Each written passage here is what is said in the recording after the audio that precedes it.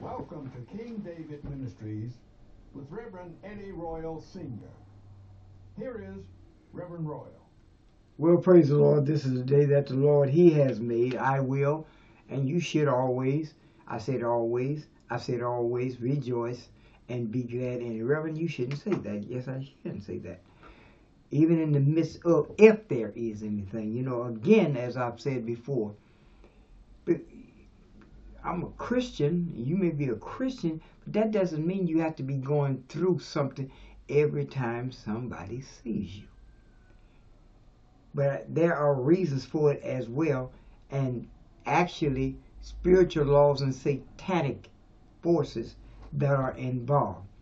Also, the Word of God plainly tells us that the carnal mind is death, and the spiritual mind is life and peace. So, why not nothing be happening of course, things are going to come your way. The word says, even says, don't think it's strange concerning the fiery trials. It's in First Peter, which is to try you, as though some strange thing happened to you. It's going to happen. However, I found out. I said I found out. When that happens, are you standing on faith or fear? because actions, you know, in a crisis, I've heard it before. When one is in a crisis or going through a crisis, we'll find out what you believe. I said, we'll find out what you believe. And I really think for many years that we have, I, I, I don't know, the, the word says in 4 in uh, Corinthians 4 4 that the God of this world has blinded the mind. And I've had experience with that being reading this word and then in my experience seeing how things happen around that. As I said before, briefly, as I said the other day, I needed to have a letter. I thought. But anyway, when I got where I was going, didn't have it. Okay.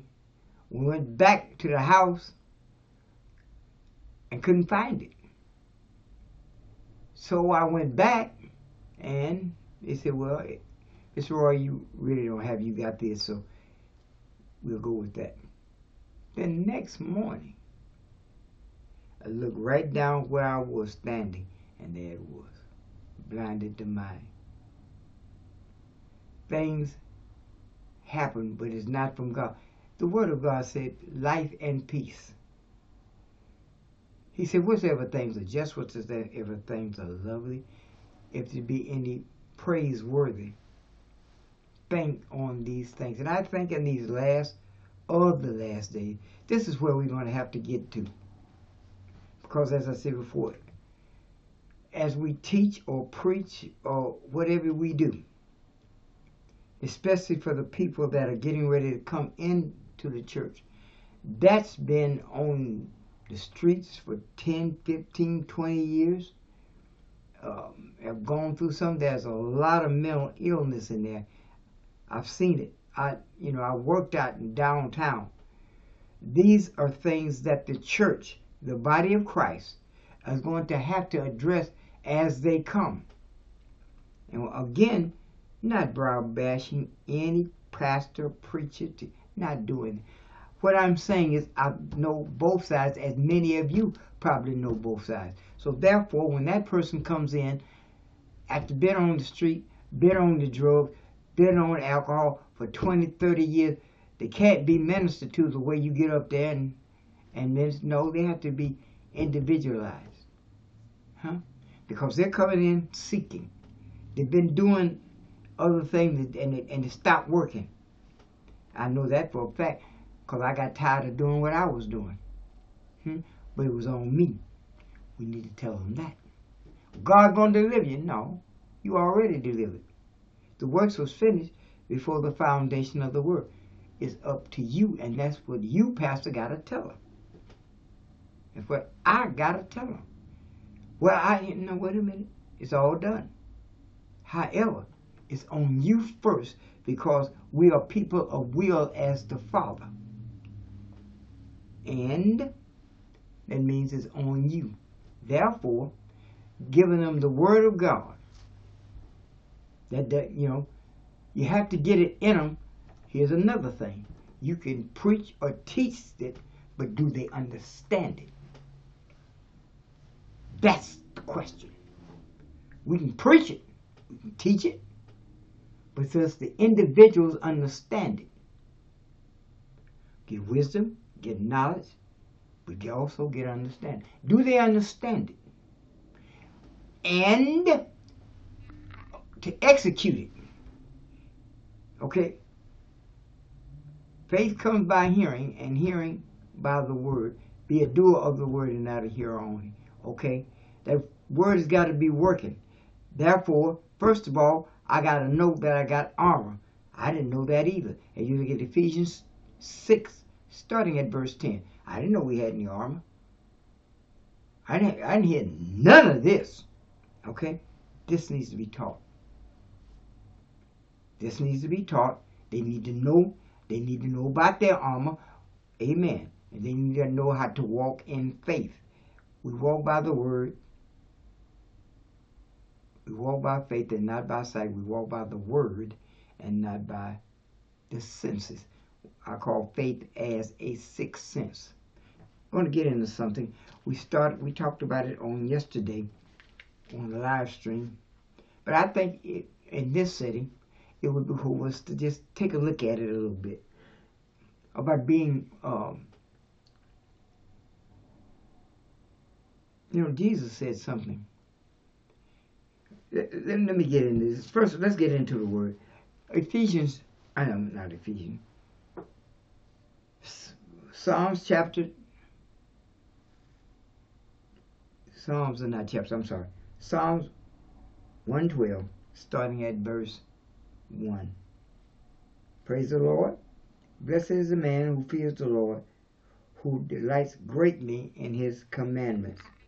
His descendants will be mighty on earth. The generation of the upright will be blessed.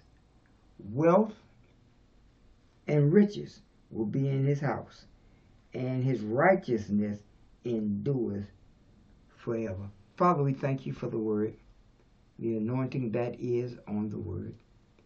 We thank you, Father God, that my tongue is a pen of a ready writer. Father God, you know who's out there. I don't. Father God, if they need to be saved, Father, I thank you that they will be saved, according to Romans. And God, will give you praise and thanks in Jesus' name. Amen. Also, prior to doing this, we want to wish all the mothers out there. and I heard a preacher years and years ago. Uh, he said in that church, if you didn't have a, a, a child, they call you mothers in Zion. So if you're a mother, a mother in Zion, amen, in, in the church, we wish you a happy Mother's Day. If I was going to preach, I'd preach about a mother's love because I know about that. Amen. A mother's love, and my mother is going to be with the Lord. Amen. But even when I was strung out on that crack, her comforting words, sometimes she would embrace me. Amen. Say, is that all right? Come on, baby. Amen. I missed that. And during that time, basically, she was the only one that would not turn her back on me. That's because I was a son. She could have, even though I was a son. But she didn't. And I missed that. And one day I'll see her again. But right now, the Lord's business has to be taken care of. And I looked up a, a, at a scripture, and, and I, I thought about the scripture in Luke chapter 6, verse 46. First of all, let's just read that one verse, 46. But why do you call me Lord? Lord, and do not do the things which I say. Why do, Jesus is talking, why do you call me Lord, Lord? And do not do the things which I say. 47. Now watch this. Keep that verse in mind. 47. Whosoever comes to me and hears my sayings and does them, I will show you whom he is like. 48. He is like a man building a house who dug deep and laid the foundation of the rock on the rock. And when the floods arose and the stream beat vehemently against the house and could not shake it, for it was founded, glory to God, on a rock. This is Jesus speaking. Your Lord, my Lord. But, I said, but. That's what they say here. He who hear, he who heard and did nothing is like a man who built a house on the earth without a foundation against which the stream beat vehemently and immediately it fell and the ruin of that house was great. Now, Jesus said, why don't we do? He was talking to them, but the word is forever settled in heaven. Why don't you call me Lord and Savior Jesus Christ? But you you you're not doing what. And, and remember, when a preacher preaches, goes to them first. Oh yeah, it goes to them first.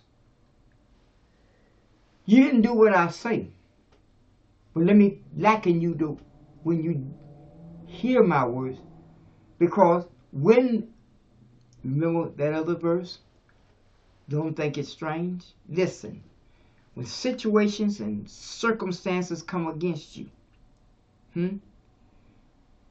Jesus just said, and as Timothy Chandler said, I'm going to read it for yourself. Again, repeat. Read it for yourself. Remember, when a preacher preaches, number one, it, it, something got to click, something got to break. This the anointing on that word. Huh, it cuts to and fro. It ain't entertainment. It, it's, it's, it's something that's going to shake me to be a better person tomorrow than I was today. This word is for the living. Ain't no Bible studies in heaven. So he said, if you heard my word, what did he say?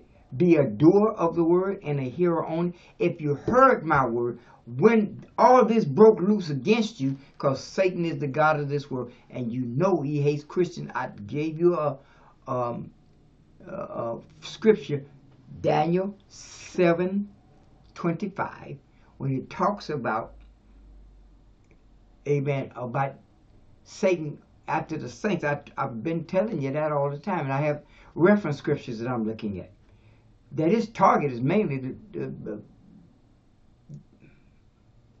the, the baptized believer, the body of Christ. Why? Because many, why would God put in there the carnal mind is death? Somewhere, somewhere, we came down from spiritual to carnal, even being born again. And like I said before, the devil gets you. You might well tell him, the devil will get you even in the church. You can be right up under the preacher. Still get you. That is view on no principles. The Bible is made up, has, has talking about spiritual laws. There are laws in this. What did Joshua say? He told uh, Joshua, this book of the law. You ain't praying with me. It's a law. There are spiritual laws. I said there are laws hmm. spiritual laws that we must walk in. Why over 6,000 years, I believe, that God would put this in this binder for us to, to live by, and we don't. You call me Lord, but you don't do what I say. Huh? Then he said, all this has come on you, that will come upon you, if you are founded on that word, if you are founded on the rock, yes, it's going to shake. Yes, it's going to come against you. Yes, you're going to, your body's going to be attacked. Yes, your finances is going to be attacked. But if you're founded on my word, you'll get through it. And what had happened to Job, he got back twice out of all he went through. He got back twice as much as he had before. There's rewards to that. But you got to understand, you see, when you've done all this but if you don't hear my words, now there is the question. When the rains ascended and the flood comes, your house fell. My house fell. Hmm? What happened? Because you didn't hear. I didn't hear. Something happened where it didn't penetrate. Huh? He said, the word preached did not profit them, according to Hebrews 4, not being mixed with faith in them that heard it. So it fell, so somewhere, this book is written to the born again believer. So when it fell, somewhere, and it was not God's will, and nobody can tell you that. Better not tell you that it was not his will. Jesus just said, if you hear my hear my words, when it comes, you'll stand. But if you don't hear somewhere it didn't penetrate. Okay. So somewhere it didn't it, it didn't penetrate. So Jesus, our Lord and our Savior, the one that we are supposed to obey, came in flesh. He said, and the word, according to John 1 14, and the word became flesh and dwelt among us. A- amen. Now, he talks about now he's the King of kings and Lord of lords. Well, who are the kings that he's that he's the king over? If you look at First Peter two twenty nine, it talks about that. If you even go you go to Revelations, it talks about it. I don't have time. Revelations chapter one, verse six. He has made us to be a kingdom priest to God and Father. To him be the glory and honor. Matthew 16, just say 18. And I am also say to you that you are Peter, and on this rock I'll build my church. Now here's what I'm on that scripture. Here's what I'm saying. He said, "My church." Not ours, ours. No, his. Now, so since it's his and he's the Lord of the Lords and we are the Lord's under him, sure it's quiet in here.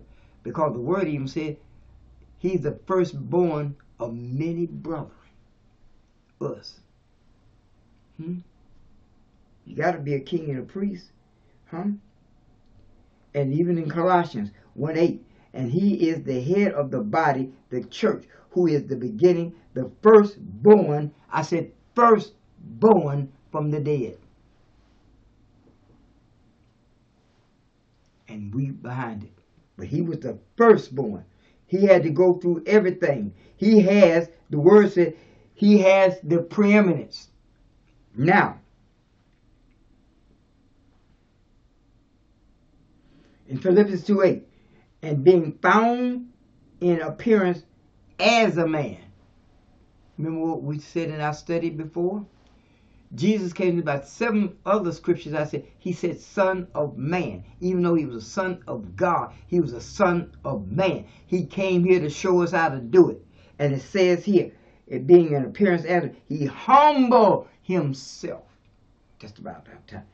I said, He humbled. He is a, he's a man just like me. Did you hear me? He was a man just like me. I can only put me in. He left all his dear to there. The only thing he didn't have like me was a seed of a man. Because he had to use that to stay alive. Because, you know, because he didn't have a seed of a man, death had no claim on it. In order to get us out of this stuff. But everything else that, that we have to do, he had to do. Everything. Everything.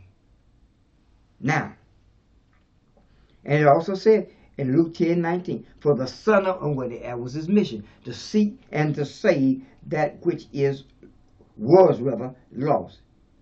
And now what did God do? John 13 3. Jesus, knowing that the Father had given all things into his hand and that he had come from God and was going to God, rose from some. Watch this, watch this. Now, wow, wow. Let me go back to Matthew 2018, pastors. I've used this before. Don't, don't get mad, please. If, I'm, if, if it's in the Word, why get mad? This is what Jesus, our, our Savior, said. Jesus did. Jesus in um, Matthew 8, 20, 28. Just as the Son of Man did not come to be served.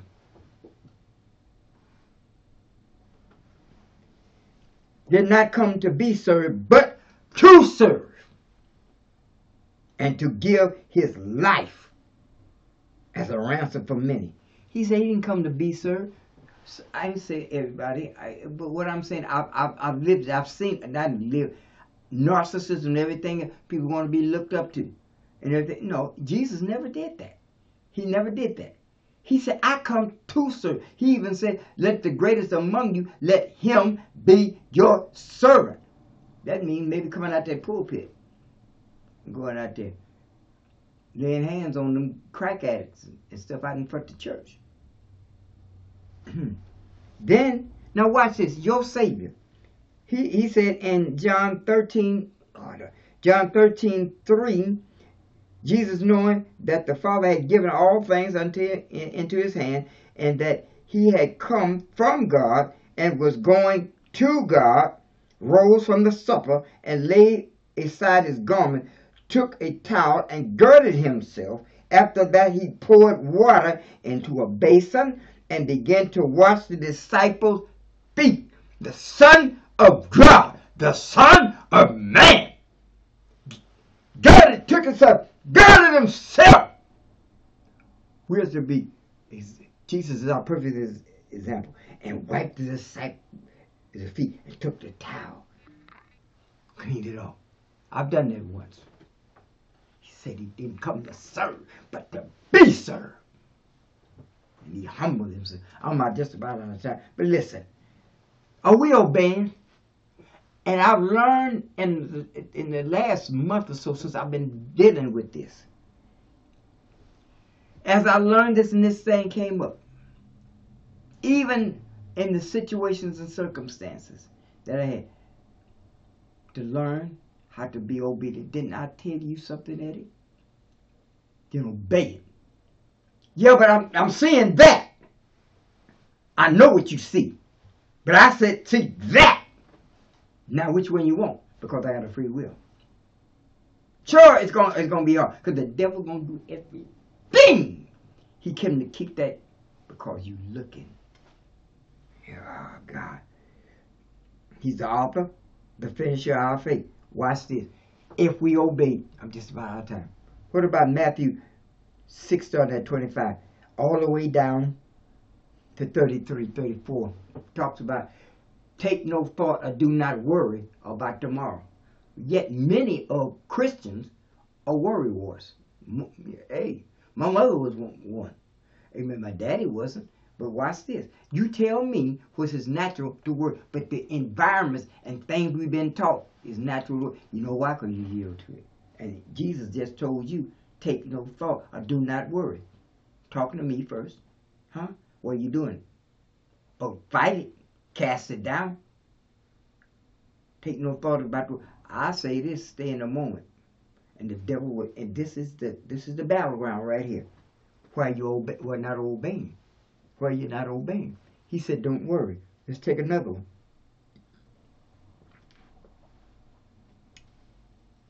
Second Timothy 1 7. God has not given us the spirit of fear, but we steeped in it. I told you don't fear. Hmm? Peter could have went down in history for all generations. Jesus said, he said, came out, came on, uh, walking on the water, and he said, don't be afraid. That's the first thing usually if they, Jesus would say, or the angel would say, don't fear, don't fear, don't fear. But we speak that I'm afraid this, I'm afraid that, I'm afraid this, I'm afraid that, I'm afraid this, I'm scared, I'm this, I'm that. Well, sorry. But Peter said, if it's you, first he said, if yeah, Jesus said, come on. I know he's smiling. Peter got out that boat and walked on the water. But he looked at the wind. When you look at a situation and a circumstance and keep your eye on it, because the attention, the fuel of a thought is the attention. And he looked at the wind and he began to say, same thing when you raise in, in, in, in a situation and circumstance, you keep looking at that situation, you're going down. You're going down. That's it. And that's what robbed Peter. What about healing? Just about out of time. Isaiah 53 5. He who is wounded he was wounded by our transgression. He was bruised our iniquity. The chastisement of peace was on and with his stripes we are healed. Then you go to 1 Peter 2 24. Who himself bore our sicknesses and our sickness kept he who himself bore our sins in his own body on the tree that we having died to sin might live for righteousness by whose stripes you were. You were. You were. You were here. I'm sick. I know things come against us. I understand it. But what's that word? I didn't say not go to the doctor. I got a primary care, Dr. Wong. Amen. But that word say, with his stripes, I'm healed. Now, if you said that, and I'm just about to, I'm going to say one thing. Let me, let me just put it like this. Jesus came upon a fig tree to find something to eat. Mr. Uh, times I have to paraphrase this. Wasn't nothing there. Even though he saw it, he said, No man eat fruit of you again forever and left. On the way back, the tree had withered away. He said, Master, he said, have faith in God. What is what here's what I'm the attention I'm trying to get you to see. He said that and walked away because he knew what he said was going to come to pass. He said, let's go to the other side. He went to sleep in the back of the boat. Why? Because what he said, we go on the other side, and that's it. Disciples, so he said, whatsoever things you say, believe that you say, it, what, what, what is that? Because um, I want to quote it right. Um, believe that what you say will come to pass. You will have whatsoever you say. I'm out of time. And how many of us, you might think that I'm catching a cold. You just caught it because you believe what you say gonna come to pass. Oh, it's quiet. You know why you caught it instead of fighting it. Hmm? I believe I'm, I'm gonna fight my cancer. I'm not an English major, but you just said mine, so it's yours. Hmm? It's yours. Anyway, happy Mother's Day. Think about it. Just these scriptures. That's why I give you. Tim Chandler said, read it for yourself.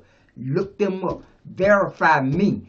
If it's not right, see what I'm verifying, what I'm looking down. Because a lot of times, like Tim Chandler said, a lot of times the preacher or whoever it is is looking at, saying that, but it may not be there. Okay? So, verify me. I gave you scriptures. Read it for yourself.